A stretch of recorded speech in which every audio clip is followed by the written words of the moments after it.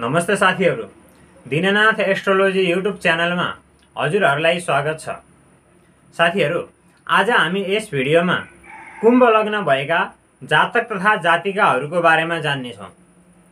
कुम्भ लग्न भएका जातक तथा जातिकाहरूको बारेमा अथवा जातक तथा जातिकाहरूले जान्नै पर्ने केही महत्त्वपूर्ण जानकारीहरूको साथमा कुम्भ लग्न भएका जातक तथा जातिकाहरूको स्वभाव व्यक्तित्व के कस्तो हुन्छ इत्यादिको बारेमा पनि जान्नेछौँ। सबभन्दा पहिला हामी जानौँ कि कुम्भ लग्न भएको कुण्डली के कस्तो हुन्छ भनेर है त साथीहरू। साथीहरू हजुरहरूले यो व्हाइट बोर्डमा यहाँ लेखिएको यो चार्टलाई हेर्न सक्नुहुन्छ है। बाह्रवटा कोठा भएको यस चार्टलाई हामी के भनिन्छ? लग्न कुण्डली भनेर भन् भन्छौँ है त साथीहरू। यस लग्न कुण्डलीको यस कोठालाई के भनिन्छ? प्रथम भाव भनिन्छ। यसरी गरेर यो द्वादश भावसम्म बनेको छ। यस प्रथम भावमा जुन अङ्क लेखिएको हुन्छ अथवा जुन राशि हुन्छ नि साथीहरू त्यही राशि अनुसार नै यसलाई त्यो राशिको कुण्डली भनेर भनिन्छ। जस्तै यहाँ अहिले हामीले एघार अङ्क लेखिएको छ। एघार अङ्कको एघार अङ्कले कुम्भ राशि भनेर चिनाउँछ होइन? त्यही भएर यो कुम्भ लग्नको कुण्डली भयो। त्यस्तै गरेर यहाँ दस नम्बरको अङ्क लेखे यो मकर लग्नको बाह्र नम्बरको अङ्क लेखे यहाँ मिन लग्नको गरेर इत्यादि तरिकाले यो लग्न कुण्डली हुन्छ है साथीहरू। यदि हजुरहरूको पनि हजुरहरू कुम्भ लग्नको हुनुहुन्छ अथवा हजुरको परिवारमा हजुरको वरपर इष्टमित्रहरूमा साथीभाइमा कोही पनि यदि कुम्भ लग्नको हुनुहुन्छ भने यो भिडियोलाई भने अवश्य नै हेर्नु होला है। किनकि म यस भिडियोमा कुम्भ लग्न भएका जातक तथा जातिकाहरूले जान्नै पर्ने केही महत्त्वपूर्ण जानकारीको साथमा त्यस्ता जातक तथा जातिकाहरूको स्वभाव व्यक्तित्व के कस्तो हुन्छ इत्यादिको बारेमा बताउँदैछु। साथीहरू जसको कुम्भ लग्न हुन्छ नि ती जातक तथा जातिकाहरूको लागि स्वामी ग्रह भनेको शनि देवता हुन्छन्। यस यो कुम्भ लग्न भएका जातक तथा जातिकाहरूको लागि लग्नको स्वामी ग्रह भनेको कर्मका कारक ग्रह जो मेहनतका कारक ग्रह हुन् शनि। ती शनि ग्रह यी जातक तथा जातिकाहरूको लागि स्वामी ग्रह हुन्। त्यस्तै गरेर कुम्भ लग्न भएका जातक तथा जातिकाहरूको लागि आराध्य देवी देवताहरू हुन्। भगवान् विष्णु भगवती लक्ष्मी र शनि देवता। यी जातक तथा जातिकाहरूले आफ्नो जीवनमा यी देवी देवताहरूलाई पुज्नु भएमा पूजन अर्चन वन्दन गर्नु भएमा पूजनबाट चाहिँ नि यी जातक तथा जातिकाहरूले शुभ परिणाम पाउनुहुनेछ राम्रो राम्रो आफ्नो जीवनमा सकारात्मक अनुभवहरूको महसुस गर्नुहुनेछ त्यही भएर हजुरहरू यो कुम्भ लग्नको हुनुहुन्छ भने चाहिँ नि भगवान् विष्णु भगवती लक्ष्मी र भगवान् शनि देवताको पूजा पूजन अर्चन अवश्य गर्नु होला है साथीहरू। साथीहरू त्यस्तै गरेर कुम्भ लग्न भएको जातक तथा जातिकाहरूको लागि कारक यानि मित्र ग्रहहरू रहेका छन्। एउटा त लग्ने शनि स्वयं त्यसपछि पञ्चमेश बुध र त्यस्तै गरेर भाग्येश शुक्र। साथीहरू कारक तथा मित्र ग्रहको अर्थ हुन्छ ती ग्रहहरू जसको दशा तथा अन्तर्दशामा हामीहरूले शुभ परिणाम पाउनेछौँ।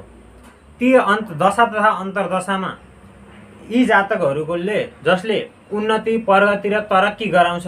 त्यस्ता ग्रहहरूलाई हामीले कारक तथा मित्र ग्रहहरू भनेर भनिन्छ। ती ग्रहहरू रहेका छन् यी कुण्डलीका लागि शनि शुक्र र बुध है। त्यस्तै गरेर सम ग्रह रहेको छ। सम ग्रह रहेको छ साथीहरू मङ्गल। मङ्गललाई यहाँ हेर्न सक्नुहुन्छ। मङ्गल भनेको दुईवटा दुई यहाँ एउटा त तृतीय स्थानको कारक ग्रह हो मङ्गल भने। त्यस्तै गरेर अर्को भनेको कर्म स्थानको कारक ग्रह पनि मङ्गल हो। त्यही भएर यस कुण्डलीको लागि सम ग्रह रहेको छ मङ्गल। त्यस्तै गरेर कुम्भ लग्न भएका जातक तथा जातिकाहरूको लागि मारक तथा शत्रु ग्रहहरू रहेका छन्। चन्द्रमा र सूर्य। साथीहरू मारक तथा शत्रु ग्रह ती ग्रहहरूलाई भनिन्छ जसको दशा तथा अन्तर्दशा चल्दाखेरि चल्दाखेरि ती जातकहरूलाई शारीरिक पीडा मानसिक पीडा आर्थिक पीडाहरूको सामना गर्नुपर्दछ। त्यही भएर ती ग्रहहरूलाई मारक ग्रह भनिन्छ। यस कुम्भ लग्न भएका जातक तथा जातिकाहरूको लागि चाहिँ मार्ग ग्रहहरू हुन्छन् चन्द्रमा र सूर्य। साथीहरू त्यस्तै गरेर कुम्भ लग्न भएका जातक तथा जातिकाहरूको लागि शुभ बारहरू रहेका छन्। शनिबार बुधबार र शुक्रबार। यदि यी जातक तथा जातिकाहरूले कुनै पनि कार्यको सुरुवात गर्नु परेमा कुनै पनि कार्यको सुरुवात गर्दाखेरि यी बारहरूमा गरेमा ती जातक तथा जातिकाहरूलाई सफलता अधिक मात्रामा प्राप्त हुने प्राप्त हुन सक्ने सम्भावना हुन्छ। त्यही भएर हजुरहरू यदि कुम्भ लग्नको हुनुहुन्छ भने चाहिँ नि अगाडिबाट ध्यान दिएर यी बारहरूमा कार्यको शुभारम्भ गर्नुहोला है त। साथीहरू त्यस्तै गरेर कुम्भ लग्न भएका जातक तथा जातिकाहरूको लागि शुभ रङ्गहरू रहेका छन्। निलो हरियो र सेतो। यदि यी जातक तथा जातिकाहरूले आफ्नो नित्य जीवनमा निलो हरियो र सेतो रङ्गको प्रयोग गर्नु भएमा हजुरहरूले अवश्य नै शुभताको प्राप्त गर्नुहुनेछ।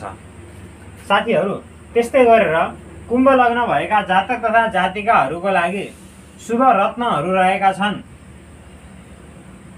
निलम पन्ना र हिरा। यदि यी जातकहरूले निलम पन्ना र हिरालाई धारण गर्नु भएमा अवश्य नै जीवनमा सफलता प्राप्त गर्न सक्नुहुनेछ अथवा अधिक शुभता प्राप्त गर्नुहुनेछ। तर शुभता मिल्छ भन्दैमा यत्तिकैमा चाहिँ नि यी रत्नहरूको धारण गर्न मिल्दैन है साथीहरू। अवश्य नै यो धारण गर्नभन्दा अगाडि चाहिँ नि ग्रहहरूको उपस्थितिलाई हेरेर ग्रहहरूको प्लेसमेन्टलाई हेरेर मात्र रत्नहरू धारण गर्नुपर्ने भएको हुनाले आफ्नो नजिकमा हुनुभएका यस विषयसँग यस विषयका जानकारी जानकारहरूलाई सोधेर मात्र रत्नहरू धारण गर्नु होला है साथीहरू। साथीहरू त्यस्तै गरेर कुम्भ लग्न भएको जातक तथा जातिकाहरूको लागि कुम्भ लग्नमा शुभ युतिहरू रहेका छन्। एउटा त लग्नेश र भाग्येशको युति शनि शुक्रको युति त्यस्तै गरेर शनि बुधको युति त्यस्तै गरेर बुध र शुक्रको युति। यदि कुण्डलीमा यी युतिहरू छ आठ र बाह्र भावलाई छोडेर हजुरहरूलाई यो देखाइदिन्छु। यसलाई भनिन्छ छैठौँ भाव यसलाई भनिन्छ आठौँ भाव र यसलाई भनिन्छ बाह्रौँ भाव। यी भावहरूलाई छोडेर कुण्डलीको अरू जुनसुकै भावमा पनि यी युतिहरू भएका छन् भने अवश्य नै यी जातकहरूले आफ्नो जीवनकालमा अवश्य नै सफलता अवश्य नै प्राप्त गर्नेछन् साथीहरू। साथीहरू अब भने हामी कुम्भ लग्न भएका जातक तथा जातिकाहरूको स्वभाव कस्तो के कस्तो हुन्छ व्यक्तित्व के कस्तो हुन्छ इत्यादिको बारेमा जानौँ है त साथीहरू।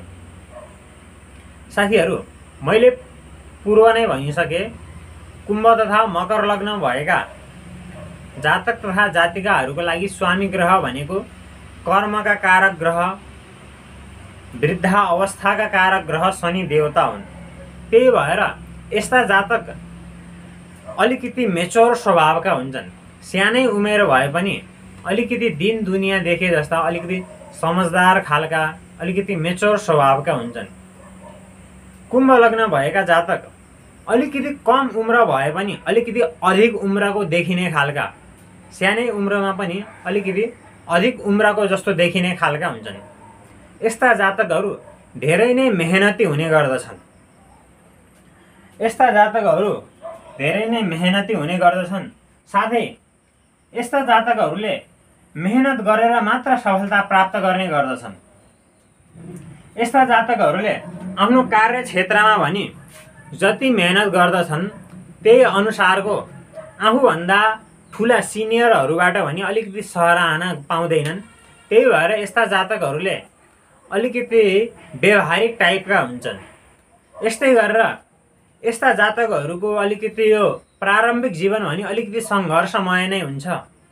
यिनीहरूको भाग्योदय भनेको हजुरहरूको छत्तिस वर्षको उमेरपछि मात्र हुने गर्दछ। त्यही भएर छत्तिस वर्षभन्दा पूर्व चाहिँ नि यी जातक तथा जातिकाहरूको जीवन भने अलिकति सङ्घर्षमय रहन्छ।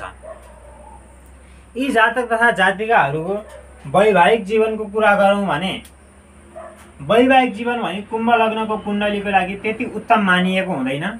किन भन्दाखेरि यसको सप्तम भावमा यो सूर्यको राशि छ जो कि सिंह राशि हो।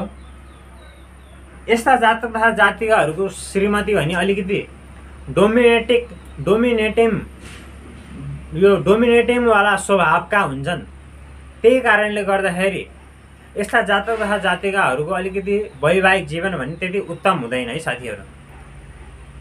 साथीहरू मैले यी यो दिएका जानकारीहरू चाहिँ यो सामान्य जानकारी हो। त्यस्तै गरेर कुण्डलीमा अब यो ग्रहहरूको कुन ग्रहहरूको कुण्डली लग्न भावमा उपस्थिति छ? कस्ता ग्रहहरूको दृष्टि छ?